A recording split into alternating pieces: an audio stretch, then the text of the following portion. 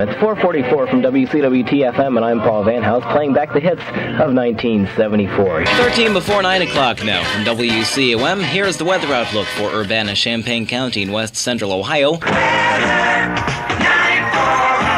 Do get the feeling that nobody loves you? Here's the AccuWeather readout for this hour brought to you by Ace Hardware of Sheboygan. Right now, here is the weather forecast for all of Oxford and vicinity right here from WOXR Oxford, the magic of radio.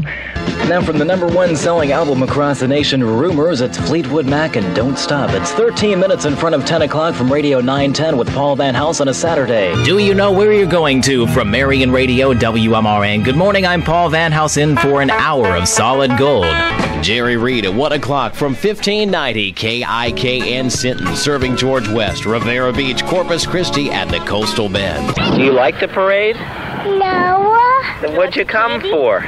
because I'm Paul Van House, KIKN News.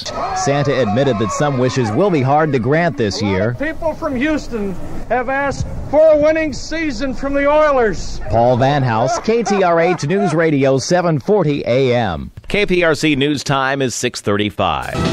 Good morning from News Center 950. Here are this hour's top stories. Oh, Marie Osmond, why didn't you tell me that years ago? 333 from KFRD FM 105. Paul Rogers in for Bud Smith on your Tuesday afternoons. After a long morning of competition, we're left with the top place finishers here, but all the boys who competed are being called winners. Paul Van House for Houston's News TV. Now, boys, let's give everybody a big hand. Olympia's 95.3 KGY invite you to Sylvester Park in downtown Olympia today between noon and 4 for Lakefair Kids Day. Free fun and interactive Kids Day. Hosted